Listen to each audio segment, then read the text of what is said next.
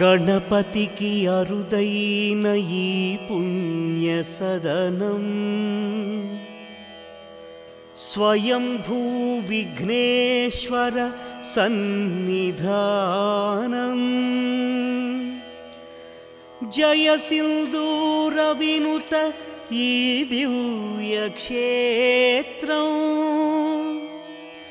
भुवि कैलासौ श्रीकाणिपाकं भुवि कैलासं श्रीकाणिपाकम्